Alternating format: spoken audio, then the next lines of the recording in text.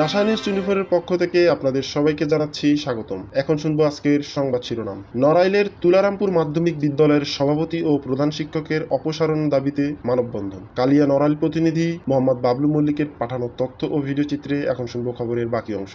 নড়াইল সদর উপজেলার তুলারামপুর মাধ্যমিক বিদ্যালয়ের সভাপতি ও প্রধান শিক্ষকের বিরুদ্ধে নিয়োগ বাণিজ্যের অভিযোগ এনে মানববন্ধন অনুষ্ঠিত হয়েছে। তুলারামপুর ইউনিয়নবাসীর আয়োজনে রোববার পনেরোই মে দুপুরে নড়াইল প্রেস ক্লাবের সামনে এই মানববন্ধন অনুষ্ঠিত হয়। এ সময় বক্তব্য রাখেন স্কুলের ম্যানেজিং কমিটির অভিভাবক সদস্য খান আতাউর রহমান সুজন, আলাউদ্দিন বিশ্বাস, শিহাবুর রহমান, শিহাব সহ অনেকে। বক্তারা বলেন, তুলারামপুর মাধ্যমিক বিদ্যালয়ের প্রধান শিক্ষক ইন্দ্রজিৎ মণ্ডল ও সভাপতি ইমদাদুল ইসলামের যোগসাজশে সম্প্রতি দুর্নীতি ও অনিয়মের মাধ্যমে কম্পিউটার ল্যাব অপারেটর ও অফিস সহায়ক পদে নিয়োগ দেওয়া হয়েছে। এ নিয়োগ বাতিল করে স্বচ্ছভাবে নিয়োগের দাবি করেন বক্তারা।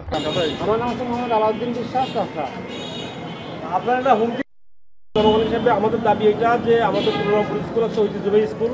ওই স্কুলের যে জেনারেশন তারাও পড়বে, সুতরাং স্কুলটা যাতে ষষ্ঠভাবে চলে আমাদের এলাকাবাসীর দাবি